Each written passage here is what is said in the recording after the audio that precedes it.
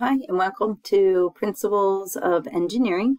Um, I'm Ms. Sparks, and I'm going to help you today on just how to take a file from either Onshape or Fusion, kind of the same process. I'm going to be using Onshape today, and how to make it into an STL file and then use it into your Dremel account. So first thing you're going to want to do, though, is you are going to need to go to printcloud.dremel.com and create an account there.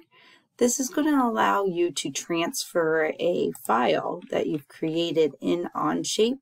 And as you can see, I did one already, is to um, be able to move it into the Dremel file. So you can kind of see it's the same, same product there take it from Onshape, put it into Dremel so that we can actually print it. So I'm going to show you how to do that today. Um, you're going to actually, my, my computer is connected to um, the printers, but I'm going to show you how to put it on your file onto a flash drive, and you'll be able to uh, print right there from um, the classroom, which will be an amazing experience. So um, first thing is you'll have to have some kind of product. Uh, we'll be working with this quite a bit, so I just made something really, really, really simple here. Um, nothing much to it, just, just a simple little part. Um, so the first thing you're going to want to do is you're going to go to Parts here, and if you right click on it, um, it allows you to bring up um, several different commands.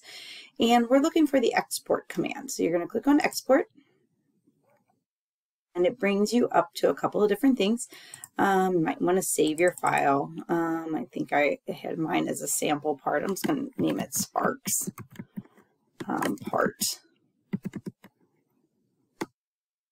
Um, and the biggest thing is that we need to make sure that it's in this STL file. And I use it quite a bit, so it kind of pops up. And as you can see, there's all different types of files. Sometimes um, with uh, different types of prints, we might be using the OBJ file, um, but or sometimes even a step file. Those seem to be the big ones that uh, I've used quite a bit.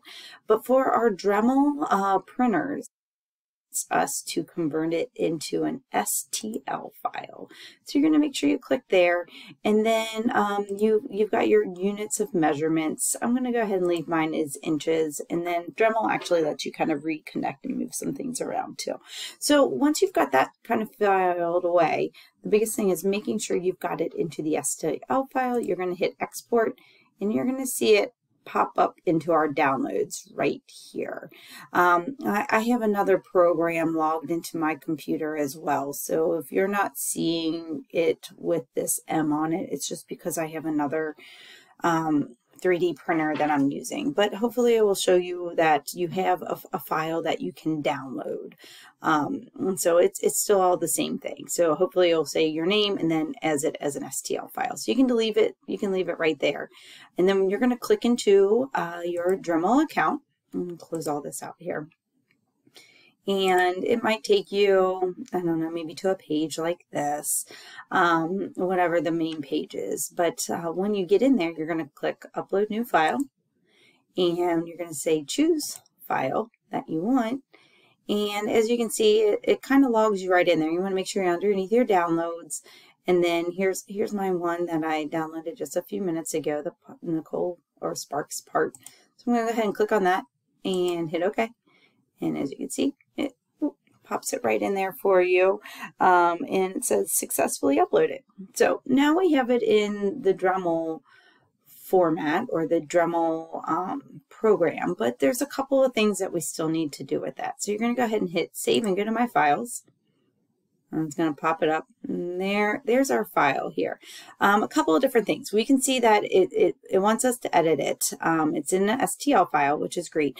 But when we see this, and you can see it's step one, step two, step three. So we have to go through three different steps in order to make sure that it, it will be fully successful to be able to print. So the first one is, is you're going to hit repair.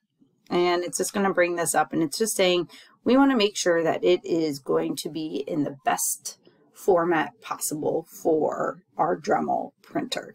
And so you're going to hit fix. Um, you will want to make sure that we have 3D 40 um, ones in our classroom. So make sure that you click on that and hit fix.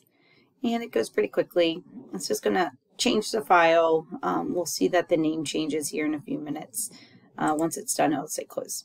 So here's our original file. And now here's our repaired STL file. So not completely finished yes, yet. We want to we want to see the layout of it. Um, and so I'm going to hit step two, which is layout. It brings up the print bed. So I'm going to scroll out and you're going to see it real quick. It transferred it super tiny. Oops.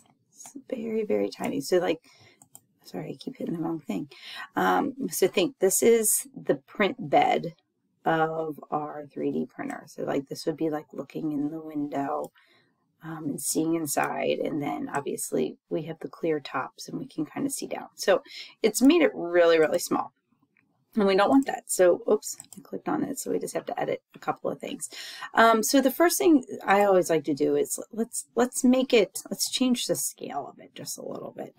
So um, as you can see, there's a couple of different options, millimeters to inches, inches and millimeters. It must, for whatever reason, brought it in um, as millimeters. So I'm just going to click on inches. Sometimes that works really well. Um, this is probably bigger than I need, but I'm going to leave it just so that you can see it. You can always mess with the scale here. Um, obviously, uh, I'd like to see approval before you, I don't want you printing something too, too terribly big. So we'll kind of talk about that scale a little bit more, but just for this reference here. Um, as you can see though, when I, when I made it larger, it's not perfectly on the bed. Um, we can see that like, you know, it would print like down below, which that obviously isn't physically possible. So um, we have to change a couple things. So you're going to hit on the bed, and as you can see, it shifts it right up. And then you can even like move it and rotate it if you want. If you want to like move it over here, we can we can click on our oops, click on our move it over here, move it there on the X or the Y axis. You can move it up and down. Uh, once again, just I always just always hit on bed, on bed, on bed to make sure. So let's say that I'm happy with this. Uh, once again, I'm going to go back to scale, look at it this way, and yeah, I'm, I'm happy with it. So uh, what you'll do next is hit save and slice.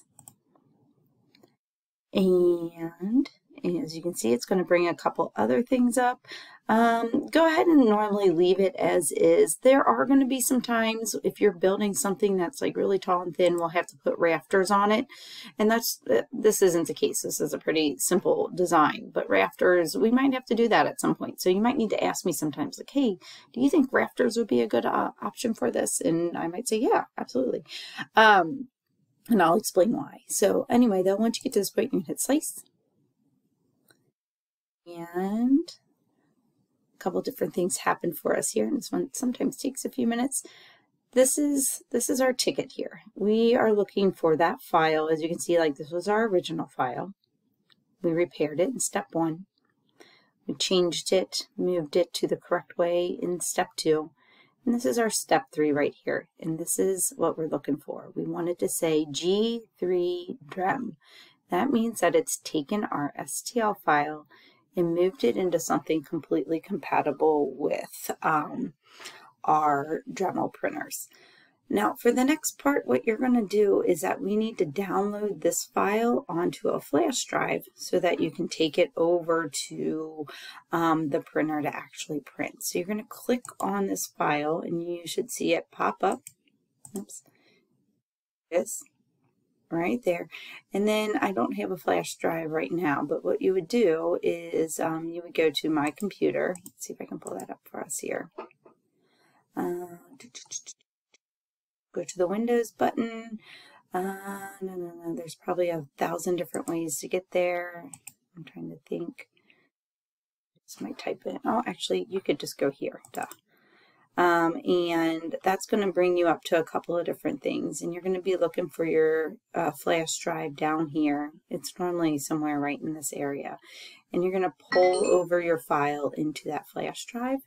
And that way it will save onto the flash drive so you can pull it right into the Dremel account. Um, and so um, once you've got that done, you just need to make sure you ask. Um, and uh, if you're wanting to changing the filament and all that, it's best just to always ask beforehand. I'm always willing to have and happy to share, but uh, that's kind of the gist of how to print uh, from Onshape to Dremel to getting an actual tangible object. Hopefully this was helpful. Thanks.